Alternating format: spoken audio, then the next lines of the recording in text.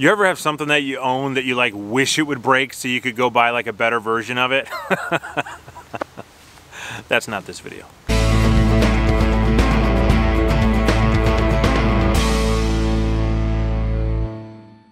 Hey, what's up guys? My name is Dan. I'm into hiking and backpacking and gear. If you guys are into that stuff too, go ahead and subscribe to the channel. That is what the channel is all about. So today we're gonna talk about if I had to go out and buy gear again. And I've just got a shorter list. This isn't my like whole gear list, but if I had to go out and buy a gear again, this is exactly what I would buy. I mean, this is the stuff that if it fell into the fire, which actually happened, by the way. I lost my Helinox Chair Zero into the fire one time. I pulled it out just in the nick of time. It got totally charred up, but it still works. but if I had to go out and buy gear again, this is what I would buy. Hey, but before we get into that, I want to say a huge thank you to those of you that came out to the subscriber meetup last weekend. We met at the Yankee Springs Recreation area just south of Grand Rapids, Michigan, and um, we had a blast, man. It was just tons of fun finally meeting you guys on the other side of the camera. My son was there, and he felt like a rock star. You guys made him feel like a million bucks, so I really hope that we get to do that again sometime. This is the stuff. I would buy it 100%, wouldn't even think twice. And then sort of as like a bonus, okay? I'm also gonna show you some cheaper options to some of the gear. Not all the gear, but some of the gear, um, because this gear is really expensive. I mean, it's like on the super high end of backpacking gear. And if you're like me and you go often, this is the kind of stuff you're gonna buy. But um, if you don't go too often, maybe once or twice a year or hardly ever, you're gonna wanna buy or look into some of the cheaper options that I'm gonna give you. So why don't we go ahead, uh, move the camera, I'll kind of get everything set up and then we can uh, walk through it. All right, how's that for a uh, costume change, huh? This is the Mountain Hardwear Ghost Whisperer jacket. Absolutely, without a shadow of a doubt, I would buy this jacket a hundred times over. This is a really expensive jacket, but it is 800 fill down. It is extremely lightweight. It's got a hood on it. It keeps me warm to about 40 degrees or so. Um, I have had it in the high 30s. Um, it definitely gets chilly at that point. You're gonna wanna make sure you've got base layers on underneath but I would not even think twice. This is absolutely my go-to jacket every single time. All right, so here's the alternative. It's a Marmot jacket. I don't remember the, you know, the, I just know it's Marmot. That's all I know. I bought it at Costco for like 70 bucks. It's literally $100 or more cheaper than the Mountain Hardwear Ghost Whisperer. Now, granted, this thing weighs about 12 or 13 ounces. It weighs quite a bit more, but it's actually warmer. This is a 700 fill jacket. But my point is, you don't have to buy a Marmot jacket. There's cheaper jackets than this. You can get on Amazon and find jackets uh, that are like, you know, 30, 40 dollars that are down jackets that are still packable and are decently lightweight. You can definitely find less expensive alternatives. Dude, this is like costume change central, right? So this is the Outdoor Research Helium 2 rain jacket. This is an extremely popular rain jacket among the backpacking community and there's good reason for it. This thing is pretty much bomb proof. It has never failed on me. It's never gotten water leaked through it whatsoever. This is definitely an expensive jacket. You're gonna pay about a $100 or more for it, um, but it's got a cool hood on it. It doesn't have pockets or pit zips or anything like that, but you know that's kind of a bummer, but I can just stick my hands in my pocket um, if I need to. Absolutely 100% I'd buy this again without even thinking about it. Weighs like six ounces. Absolutely love this jacket. Let's get to the cheap alternative. All right, so you don't want to spend 100 bucks on a rain jacket. You can spend like 15 or 20 bucks and get a rain suit.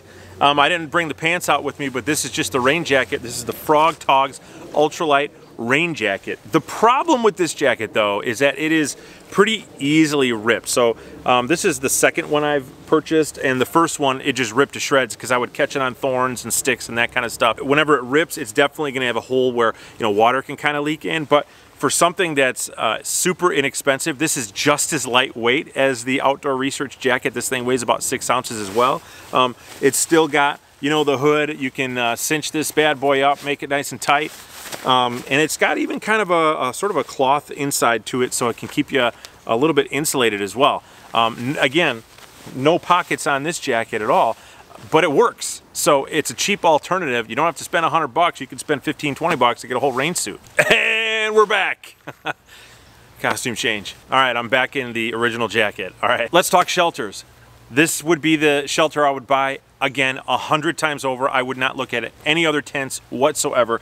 This is the Big Agnes Tiger Wall UL2. I have talked about this at nauseum in other videos, so I won't spend a ton of time on this. I'll just tell you it weighs two and a half pounds. This is the two-person version. Um, it is an extremely expensive tent. This retails for about $400, but it is worth every penny in my opinion. I would absolutely pay that money again just so I can have this tent. Um, I wouldn't even look at another one. Okay, so the alternative would be to um, pick a tent that I don't own.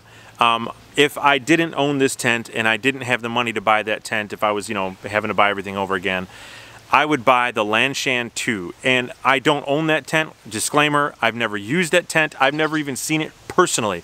But I have seen enough reviews from people that I personally trust to know that that like tent is a huge hit in the backpacking community and everybody raves about it. Um, a matter of fact, when I was asking on the community tab several months ago, you know, which shelter I should buy, that was one of the most popular choices that you guys recommended to me. Uh, the difference between that one and this one, I think the Lanshan is a single wall tent, if I'm not mistaken, and then also um, it takes trekking poles on each end to set it up. So it's a non-freestanding tent. In other words, you have to stake out the corners. It doesn't have like poles that will hold itself up.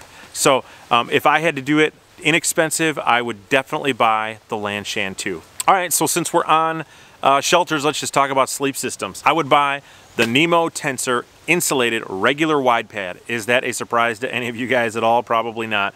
Hands down, without even thinking about it, 100% I would buy this absolutely again. I've never slept better in a tent than on this pad. So uh, this just wins. Not even, not even looking at anybody else. So the inexpensive pad that you could get is the Outdoorsman Lab pad.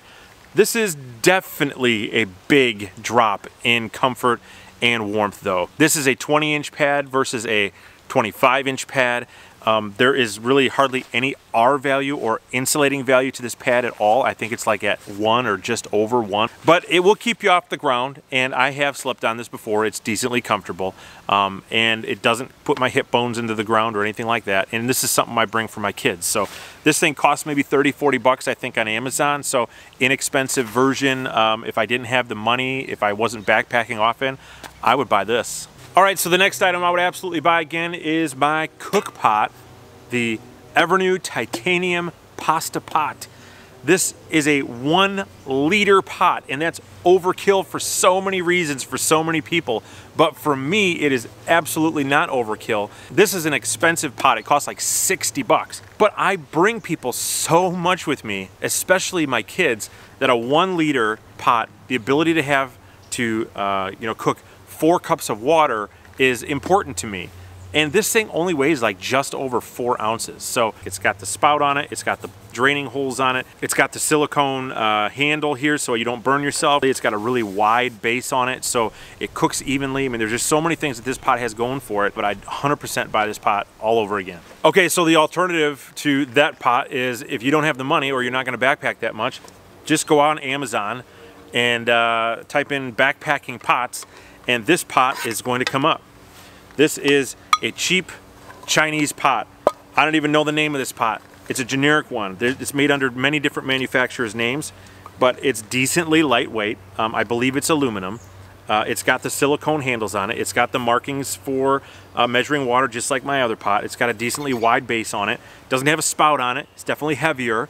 Um, but it is a solid pot and it will work. It also comes with a mug that I don't really think you need, but it does. So um, this could definitely be an inexpensive version for you guys out there that aren't willing to spend 60 bucks on a pot but want something that'll just get you into backpacking that'll just get you cooking those meals and boiling water quickly. All right and last you got to have something to carry it in so obviously my go-to is going to be the backpack that I've been using which is the Zpacks Arc Blast a 21 ounce backpack with modifications, it's right around 23 ounces. So 100%, hands down, I would absolutely buy the Zpacks Arc Blast again. This is an expensive pack. This is over $300 for the backpack, but it's worth every penny in my opinion. All right, so if you don't have 300 bucks to spend on a backpack, uh, I would recommend this backpack. Um, this is the old version of the backpack actually that I would recommend. I don't even know if they sell this one anymore. This is the Osprey Exos 48.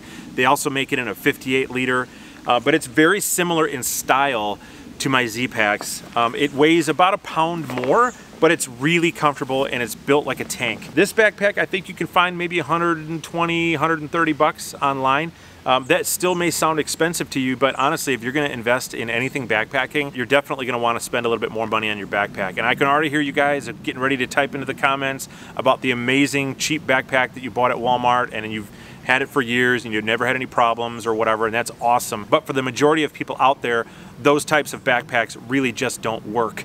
Um, you're definitely going to want to up your game when it comes to your backpack. So put a couple bucks into it and definitely buy a decent backpack for your trips. All right, also part of my sleep system, you need a quilt or a sleeping bag.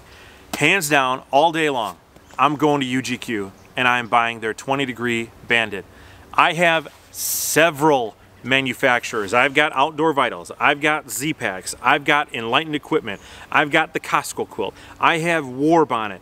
Um, I have seen them all, I've slept in them all, and they are all good quilts, don't get me wrong. You, uh, you really can't go wrong with any of those companies, but if I had to do it all over again, I'm going to UGQ. They're the most customizable. I absolutely love this quilt. It is built amazingly. Every stitch on here is perfect. Um, it is rated comfortably to the actual rating. So 20 degrees is actually the comfort rating of this quilt. It's not the, you, hey, you're not gonna die rating. Um, this is an excellent, excellent quilt for what it is. So I tell you that to tell you this. I don't have a cheap alternative for you because this is something I would 100% invest in. Absolutely. Uh, I couldn't even think of a cheap alternative. So if you guys know of an inexpensive, good, you know, sleeping bag or quilt that would uh, be better than this option for people, please let us know in the comments below. Honestly, I just couldn't think of one. I don't own one. I have a Costco quilt, but that's, you know, really for more like 50 degrees or more. So anyway, UGQ, absolutely all the way, 100%. All right, guys, that's it. That's what I got for you guys today. If you like this video, please make sure you hit that like button. Also, subscribe for more. Make sure you hit the bell notification so that I can send you a video every single time it's released. And I will see you on the next one.